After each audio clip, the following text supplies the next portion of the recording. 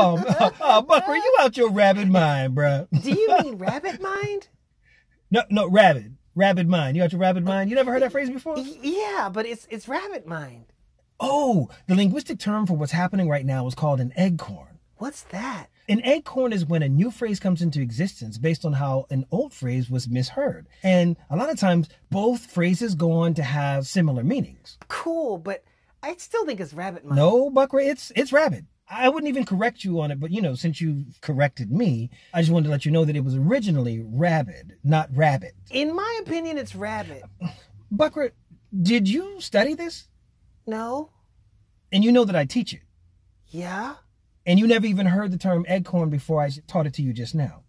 Um, no? Yet you're convinced that I'm wrong about this. No, I just disagree. How's that not the same thing, Bucker? Well, Listen, do you like this? mm-hmm. As you should. And I like this. But see, sometimes for someone who has this, to get information from someone who has this, you'll need to check this here in order to get what's in here in there.